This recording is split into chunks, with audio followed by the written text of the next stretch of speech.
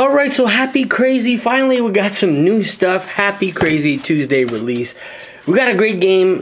Yoku's Island Express. I was I was really, really I don't know. First and foremost, I like the cover, the artwork, and everything. But that's not what got me. I got to downsize on purchasing everything. I'm sorry. I have to cut down. I gotta go back to my old, old, old self and buy games that I really want to play.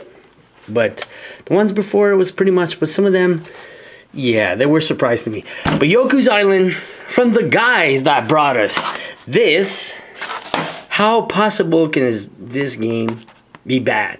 Because honestly, it really made me think about this when I saw the gameplay. And still, Sega, we still didn't have, and we still don't have, a sequel for Sonic Spinball. What are you waiting for? So, Yoku's Island Express It's pretty much a Sonic Spinball. It's an adventure of this bug that is pretty much, it's, it's kind of epic. I don't know how to describe it. it. You're playing throughout a pinball level, adventure pinball. Plus, Team 17 made this. Now, the other surprise I want to point out is how come limited run games, if you want the Switch version, well, it's only on limitedrun.com, but you got you guys, Team 17, still, this was a main title. Available everywhere. Just saying. But, like I was saying, the adventure in a pinball world.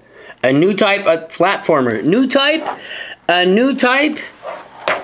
Mm, yeah, I would say, because that was pretty much just the pinball, honestly. But still, boss battles and everything. But this one, yeah, I would use a unique blend of pinball mechanics, platforming, and open world exploration to unlock the secrets of Mokumana Island. That's pretty much what I've been trying to say in the last two minutes exploration, pinball mechanics, very original gameplay. Now that's the type of game I want to play. Something original, something new, something fresh. I doubt I'm going to hate this. I'm, I got a good feeling I'm going to fall madly in love with this.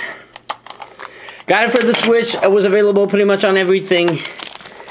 But had to grow the Switch collection. So let's see if we got anything special inside. Anything special. Team 17 might give us something, but if you look sideways, it's pretty much empty.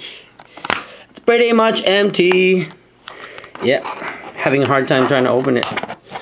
All right, we got a back artwork cover with a limited warranty text. What a bummer. Team 17, no goodies. So that's pretty much the game cartridge.